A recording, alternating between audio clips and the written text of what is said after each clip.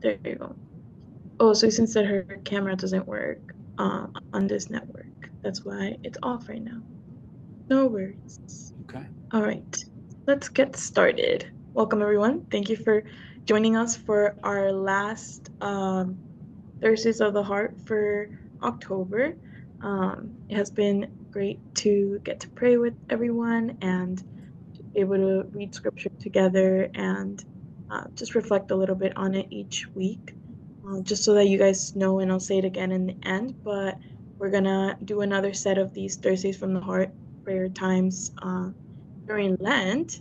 That way, we have a little, a little set time of prayer at the beginning of Lent, um, the first four weeks in right after Ash Wednesday on Thursdays, and you can add that to one of your Lenten practices if you would like to join us. But yeah, so during Lent, March, I have the dates checked. March 6, 13, 20, and 27. And I'll send them in an email later. But uh, yeah, those are the dates that we'll be meeting again in March. If you guys want to join me, let's start in a quick prayer. Father, Son, Holy Spirit. Amen. Come, Holy Spirit. Teach us how to pray. Lord, thank you so much for the gift of this day. Thank you for everyone that you were able to bring here today to pray with us and for everyone that wasn't able to make it today. We pray for their health and for their safety and that they may be having a good week so far. And also for anyone that was able to join us in the first couple of weeks, we also pray for them and for any intentions that they shared with us throughout the month. And we lift up to you our hearts and we ask that you may continue to guide us to understand your love more deeply each day. We love you. Amen. Others, Amen. All right, let's jump into the reading of the gospel for this upcoming Sunday. And I have my Bible with me today, so I'm going to read from there, and it's going to be a little tiny bit different at the beginning. I think there's like an extra sentence, but um, it is from a reading from the Gospel of Mark. The first commandment. And one of the scribes came up and heard them disputing with one another, and seeing that he answered them well, asked him, which commandment is the first of all? Jesus answered, The first is, Hear, O Israel, the Lord our God, the Lord is one. And you shall love the Lord your God with all your heart, and with all your soul, and with all your mind, and with all your strength. The second is this you shall love your neighbor as yourself. There is no one commandment greater than these. And the scribes said to him, You are right, teacher. You have truly said that he is one, and there is no other but he. And to love him with all the heart, and with all the understanding, and with all the strength, and to love one's neighbor as oneself, is much more than all whole burnt offerings and sacrifices. And when Jesus saw that he answered wisely, he said to him, you are not far from the kingdom of God. And after that, no one dared to ask him any question. The Gospel of the Lord. Praise to you, Lord Jesus Christ. All right. Um, well, we have the first commandment, and um, I think one of the things that I was thinking about that I wanted to share and just like ask for any thoughts since I thought last week was really nice to be able to just open up the floor a little bit for anyone to share anything on their minds as well. But uh, thinking about tomorrow being All Saints Day, reflecting a little bit on my aunt who passed away uh, just a couple of months ago, and mm. just like thinking about that first commandment and one to love God with all that we are, but then also the call to love our neighbor. And there was a lot of suffering like in my aunt's life, and I knew that and I saw that, and I know that when I was a teenager, there were times when she and her family lived at my parents' house with me.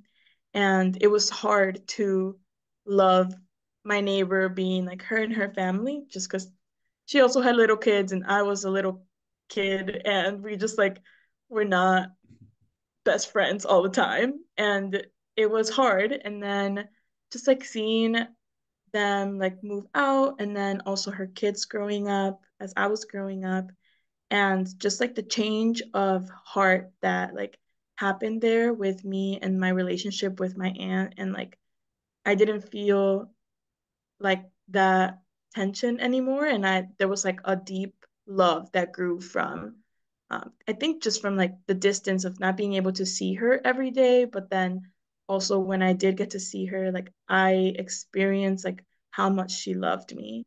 And I like felt bad for all the times that I was a little brat as a teenager but also yeah, it was really beautiful to like know like I would sometimes talk to my mom on the phone and just like ask her how my aunt was doing and um she was she would always be like, "Oh yeah, she says hello," and she's always asking like, "How how's Jocelyn? How's she doing in Milwaukee? How are her jobs?" And so I knew that she cared about me in the same way. And um I don't I think when I went to her funeral, it was the first time that I went to anyone's like funeral, the wake and the funeral. And which I'm grateful that I hadn't had many losses in my family before, but it was really like heartbreaking, but also like I knew that I I had this like different glimpse at like the afterlife and what where I hoped my aunt would be, which would be in heaven. And it like transformed like that whole entire experience of being at the wake and at the funeral and like her burial, where um I had a really big honor by my cousin, her son. She he asked me if I would just say like a couple of words like at the when she was going to be buried and just like say a couple words to everyone there and it was really unexpected but it was really awesome to be like whoa like thank you thank you Tia um from wherever you're at like for letting me be the one to say just a couple of words about God and like his love for her for his daughter and uh, just like reminding everyone to continue to pray for her and for her soul and I don't know. It was I wasn't expecting that that day when I was getting ready and going with my family, and um, just a little a little story to share on just like being able to love our neighbor well, even in the midst of like struggle. And yeah, any any thoughts or stories on um, this reading and how you can connect to it as well.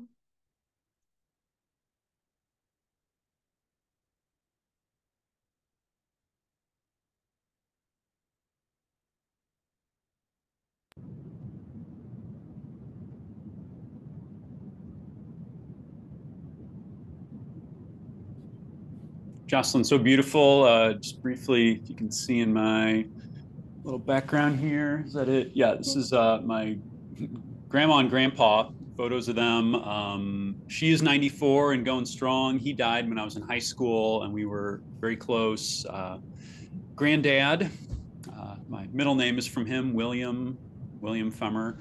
And uh, yeah, just, I mean, a lot of love for him you know, still feel some sorrow that he's not here, but also in Catholic life, like these people are still with us, you know. Um, got angels and saints watching over us, people we love who've gone before us, um, you know, are with the Lord. We, we pray and trust. So, um, yeah, amen, Jocelyn, both kind of the joy and sorrow of this season.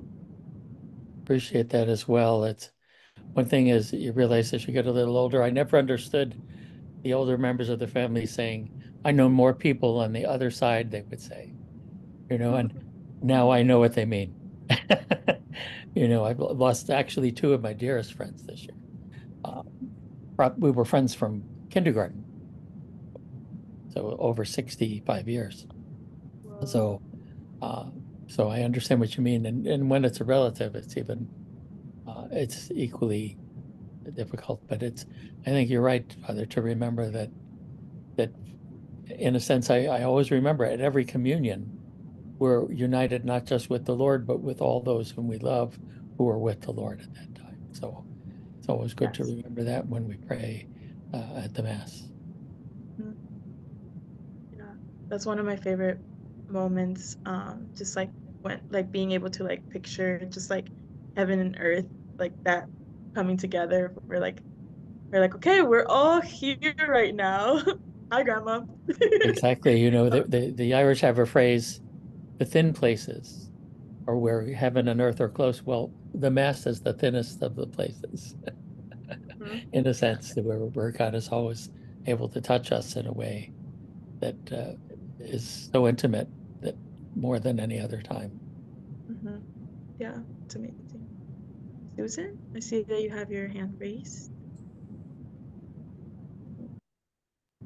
The chat. Chris said, My heart is restless until it rests with and in the Lord, God alone. Also, I show my love for God in how I love the person, in how I love the person I have the hardest time with. Right. Very important and hard to do sometimes. Exactly. Exactly. Susan?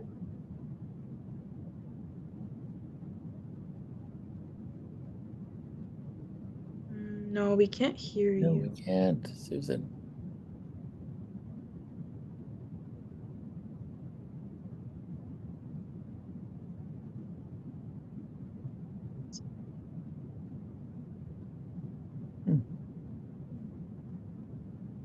You could just type it out maybe if uh, if you're having Yeah. trouble. Yeah.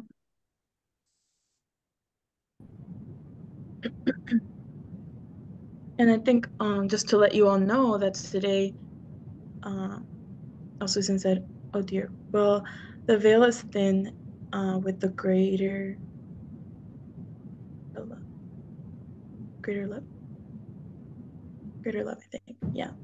Mhm. Maybe now we can hear you. I heard a little bit of static. Mhm. Maybe not. Um, but I was gonna say that today our staff cel or father celebrated mass with our staff, uh, and we made sure to pray for everyone's intentions that we have shared this last month over Thursdays from the Heart. And Susan said, "The greater the love, the veil becomes thin." Yes, it is so true. And just being able to experience both God's love, like you said, Harry, but also to be able to like experience our our family's love, family members' love in that moment, um, where we can almost go beyond, yeah, just like our human nature and know that like our souls are still able to love them.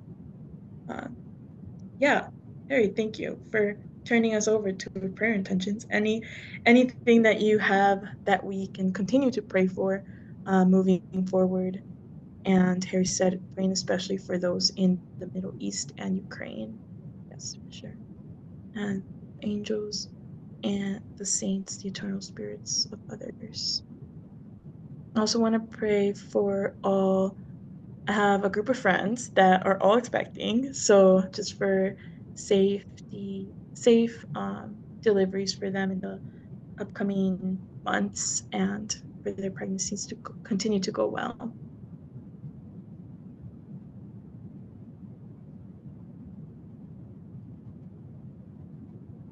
And then also for all those in Florida and Carolinas that experience damage in their homes, just as they, in these weeks and months that are coming up, as they continue to um, go back to their homes and just uh, anything that they have to like uproot and fix in their homes for that to go smoothly and for them to be able to receive the help that they need. Are there any prayer intentions from your side?